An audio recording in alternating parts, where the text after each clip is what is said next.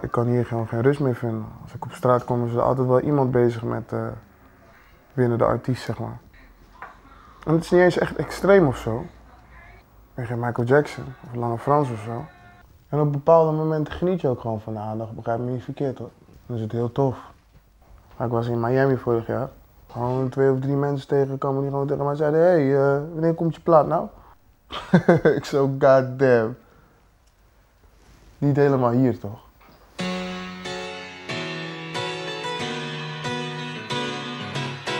Dieper dan de meeste, bezeten, vergeef me. Voor neppe shit moet je echt bij iemand anders wezen. Sorry.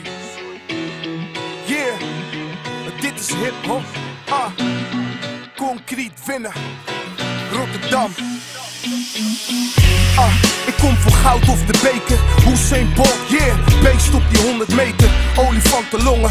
Hollen met een lange termijn visie. Homie, ik kom voor die marathonnen. Ik doe die marathon. Ik ben eh, denk ik net als eh, elke andere hiphopper begonnen met luisteren.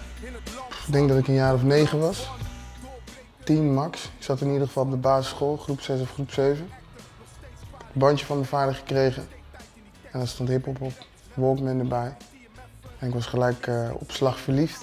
En dan ben ik rond een jaar of 15, 16 eh, zelf wat gaan schrijven. Maar niet echt serieus. Ja, ik vond, ik vond Nederlandstalige rap nep, om eerlijk te zijn.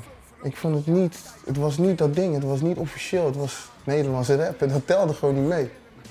Ja, op Extins na dan en eh, ons door de passie, maar de rest was gewoon, ja, we keken daar niet naar om, weet je. Ja, op een gegeven moment kreeg ik van uh, Super van Duvel Duvel, kreeg ik die cd van Buiten Westen. En toen uh, ging ik luisteren en toen had ik zoiets van, oh, oké, het kan wel, weet je. Ja, Buiten Westen. Dat is allemaal heel hard gegaan. Ik had uh, eigenlijk vrij weinig van die Nederlandstalige hip-hop af. En, uh, ik had eigenlijk een paar maanden daarvoor, of niet al te lang daarvoor, dat ik die Buitenwesten CD in mijn handen gekregen. En dat was eigenlijk mijn eerste echte kennismaking met Nederlandstalige hip-hop. En niet veel langer daarna stond ik gewoon op Buitenwesten. En het was volgens mij in de patronaat in Haarlem. En ik uh, stond achter het gordijn en ik dacht, ik ga even piepen om te kijken wat er in de zaal gebeurt. En toen uh, ja, keek ik en toen stond mijn hart gewoon even stil. Omdat ik had het niet verwacht. Het was gewoon uitverkocht. Die tent was helemaal packed. Mensen waren helemaal los. Ik had jarenlang niet op het podium gestaan. En ik had zoiets van, waar ben ik aan begonnen, weet je. En als ik nu terugkijk, heb ik ook gewoon zoiets van, je was daar helemaal niet klaar voor. Maar het moest waarschijnlijk zo lopen. Het, het, gaat allemaal veel te snel. Het, was straaljarige tempo. Je, je, neemt iets op, je gooit het op het net, er ontstaat een hype en je staat opeens op een podium voor ik weet niet hoeveel man. Want mensen beseffen niet dat de tracks die op onoverwinnelijk staan voor 70% gewoon demo's zijn. De, de, meeste songs zijn gewoon één take songs. Top 3 MC en zo, dat was gewoon, je moet je voorstellen, ik kom de studio in, Mo zet een beat op. Ik heb die lyrics in mijn hoofd, ik ga achter die mic staan. Ik record een verse en ik zeg cool, we doen de volgende. Ik record een verse, ik zeg cool, we doen de volgende.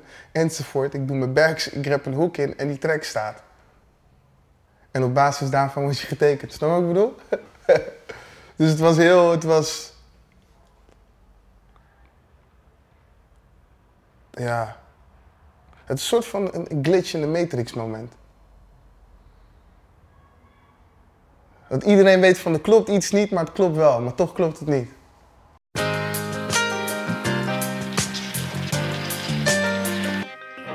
We waren 15 of 16, jong, zwart en losgeslagen. Als we kwamen in en uit schade achterlatend, klachten achterlatend.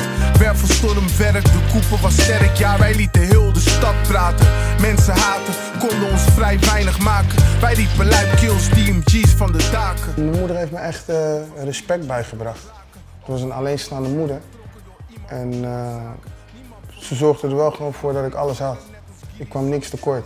Dus ik, ik kreeg ook gewoon die Air Max. En ik kreeg die chippy broek als ik hem wilde hebben. En ik kreeg die Australian. Ik had daar gewoon respect voor. Ontzag zelfs.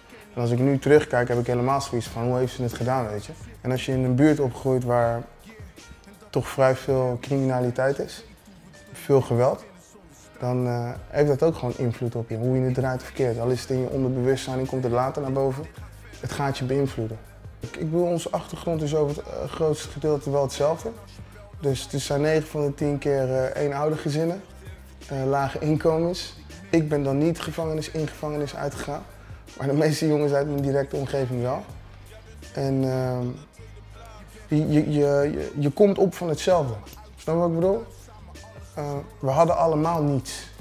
Dat maakt je een soort van lotgenoten van elkaar. Omdat je weet van, hé, hey, jij kent hetzelfde wat ik ken. Dus dat creëert wel een soort van vechtersmentaliteit. En dat hoor je dan ook weer terug in die Rotterdamse hiphop. Ik heb voor muziek gekozen en ik ben nu gewoon fulltime met muziek bezig. En zij nou, leiden een ander leven. Maar als ze mij nodig hebben, ben ik daar. Ze hoeven alleen te bellen. Van Win, ik heb je nodig en ik sta voor je deur. Snap je wat ik bedoel? Ik heb natuurlijk ook weer een aantal nieuwtjes en ik ga beginnen met, ja, met vannacht eigenlijk. Want ik heb eerlijk gezegd niet zo heel veel kunnen slapen. Dit was denk ik de eerste keer uh, vannacht dat ik alleen in mijn huis... Ja, wil je door uh, mainstream Nederland geaccepteerd worden, dan zou je wel in taal moeten spreken. Want anders blijf je toch wel die hiphop met dat petje. Ik ben me daar heel erg bewust van. En dat heeft verder niks met rap te maken. Ik bedoel, ik ben een uh, zwart jongetje, snap wat ik bedoel? En ik uh, ben opgegroeid in een achterstandswijk. Maar ik heb wel gewoon diploma's gehaald en ik heb wel gewoon gewerkt. Dus ik weet hoe er in het bedrijfsleven ook naar je gekeken kan worden. Er zijn heel, wel heel veel mensen die, die sceptisch naar je kijken in de eerste instantie. Maar zodra mensen je op de televisie zien op de een of andere manier, dan krijgen ze opeens respect voor hetgeen wat je doet. Als je de krant openslaan en ze zien je in de krant staan, dan is er opeens zoiets van, oh, oké, hij doet wel degelijk iets positiefs. En mensen zijn constant bezig met afgeven, maar wanneer ze hun stem moeten laten horen of wanneer ze op moeten staan, doen ze het niet. Ze moeten leren gunnen, ze moeten snappen dat uh, het succes van iemand anders hun eigen succes niet in de weg hoeft te staan. Ze moeten snappen dat als ik een stoel voor mezelf gecreëerd heb, dat dat mijn stoel is. En als zij ook willen zitten, dat ze hun eigen stoel moeten maken. Ja, soms denken mensen dat, dat ze over je heen kunnen lopen. En dan moet je gewoon tegen ze zeggen, hé, hey, tot hier en niet verder, weet je. Maar uh, ik, ik zit lekker in mijn vel. Ik ben uh, tevreden met wie ik ben. En uh, ik kan gewoon elke dag opstaan in de spiegel kijken en happy zijn met mijn spiegelbeeld.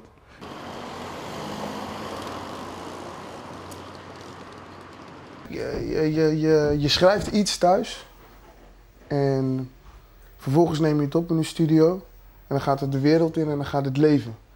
En iedereen maakt van jouw muziek zijn eigen interpretatie, zeg maar.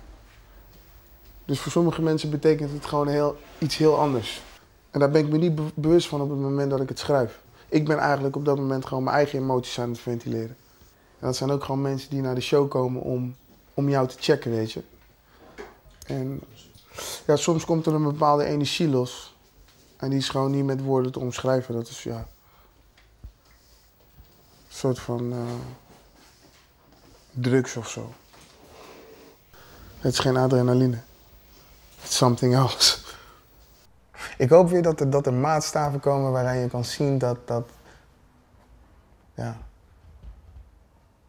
dat een MC gewoon gewild is of zo, of een artiest. En uh, momenteel zijn het nog de Marco Bassato's die uh, op de dag van de release bij wijze van spreken goud gaan. En ik hoop dat wij dat op de lange termijn ook kunnen doen. En ik hoop gewoon dat er mensen opstaan uh, die ook gewoon hun eigen onderneming uit de grond pompen. Om dat ding gewoon groter te maken en er gewoon geld mee te genereren.